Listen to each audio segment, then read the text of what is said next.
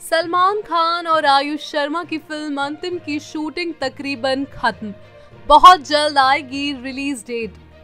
Actor Salman Khan अपने जीजा आयुष शर्मा का बॉलीवुड में करियर बनाने में जुटे हैं।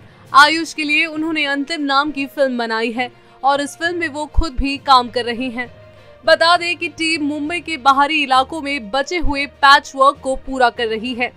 ऐसे में अब फैंस के लिए खुशी की खबर है कि टीम जल्द ही फ़िल्म का फ़र्स्ट लुक पोस्टर के साथ रिलीज़ डेट की अनाउंसमेंट भी कर सकती है।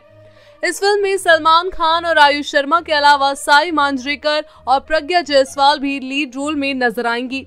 इसके साथ ही फैंस को फ़िल्म में फुल एक्शन थ्रिलर देखने को मिलने वाला है। फ़िल्म का डायरेक्शन महेश मांजरेकर कर रहे हैं और सलमान खान फिल्म्स के बैनर तले अंतिम बनाई गई है। बता दें कि ये फ़िल्म 2018 की मराठी फ़िल्म मुलशी पैटर्न पर बेस्ड है।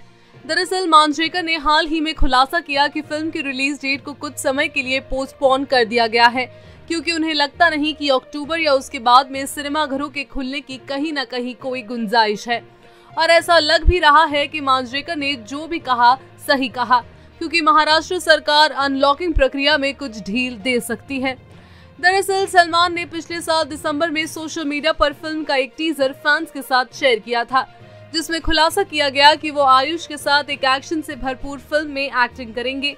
और ये पहली बार है जब पर्दे पर सलमान खान अपने बहनोई आयुष शर्मा के साथ दिख रहे हैं। प्रीव्यू में फ़िल्म के दो एक्ट्रेसेस के बीच एक गर्म युद्ध दृश्य शामिल था। फ़िल्म की कहानी उन ग्रामीणों के इलाके के इर्द गिर्द है, जो अपनी ज़मीन कम कीमत पर बेचते हैं और पैसे खर्च करते हैं। सलमान खान के वर्क फ्रंट की बात करें तो अंतिम द फाइनल ट्रुथ के अलावा सलमान टाइगर थ्री पर इमरान हाशमी और कैटरीना कैफ अभिनीत काम कर रहे हैं। उनके पास किक टू और कभी ईद, कभी दिवाली जैसी बड़ी फ़िल्में भी हैं।